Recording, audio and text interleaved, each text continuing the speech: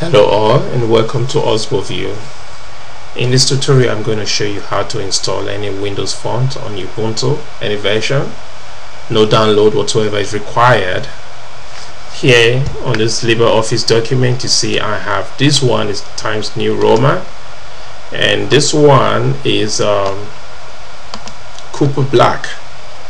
Cooper Black and this is Excalibur SF and this is ancestry sf this is french script mt and this is parchment. These fonts here are all windows fonts. They're all windows fonts and they're proprietary to windows. The reason they don't come on ubuntu is because they are proprietary to windows and mac computers also have their own proprietary mac fonts okay and um, if you have a dual boot computer with Ubuntu installed on one partition or volume and Windows installed on another partition or volume this is how you install the Windows fonts I'll minimize this. And here I have this volume that says 200 gig, 203 gigabytes volume and I have this file system this file system is where my Ubuntu is installed and this 203 gigabytes volume is where my Windows operating system is installed. It's actually two partitions in there though, but Ubuntu sees it as one big volume. And you can also see it here on my Unity launcher. So to mount this, the first thing you have to do is mount this volume and mounting it is, is as simple as clicking on it and then it opens up okay? And it's successfully mounted. Alright we have a mounted volume. And you see here it's showing 203 gigabytes volume. So this is where my Windows operating system is installed. One good thing about Ubuntu is that you can access the Windows uh, partition of volume right from Ubuntu but you cannot do do it the other way around. You cannot access Ubuntu uh, file system or partition from Windows. It just don't recognizes it. I mean Windows doesn't just recognize it. So here you have a, a, whole bunch of folders and files here. We are not concerned on, about every other folder here. All we're concerned about is Windows folder. And for yours make sure you don't move any folder you don't delete any folder. Just come to this Windows folder double click it and then locate the fonts folder. Okay double click it also. It says loading. Okay it comes up with uh, some files. Then you don't have to worry about any other thing that has .fon or whatever. All you have to be concerned about are files that end with .ttf these are all fonts that Windows uses. So you're not deleting anything you're not moving anything all you have to do is look for a font that you want. We can take this allos i.ttf okay?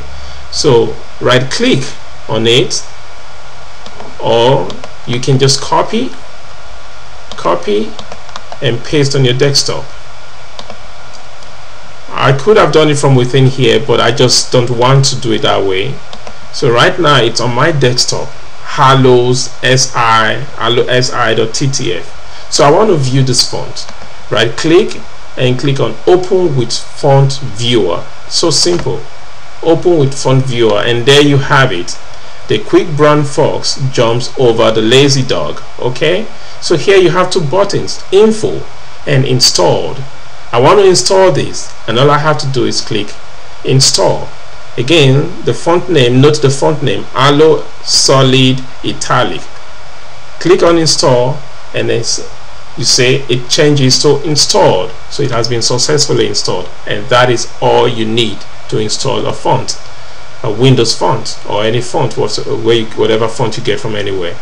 And then close it. And here this uh, I want to first of all close this LibreOffice so that it can uh, locate that font. Alright I now open the LibreOffice again and I just want to type something. Word processing is fun okay? Exclamation mark. Word processing is font. I want to increase this font to say let's say 18 or maybe a little bit bigger 24 and then here is where all the fonts are. Again that was Aloes something. So let's look at Aloes something. I mean okay halos solid italic. So here you have it. It's already been installed. Okay so I want to highlight this and change it to that halos solid italic there you have it. Windows Font has just been installed on your Ubuntu. Okay. Thank you for watching. Okay. You can do this with any of those fonts. You can pick any font that you want and simply do it the same way that we're using the same process. It is that easy no download required. And remember one thing Windows fonts are proprietary to Windows so don't distribute this. Use it for your own computer for your own good. Thank you for watching and if you have any question feel free to ask in the comment section.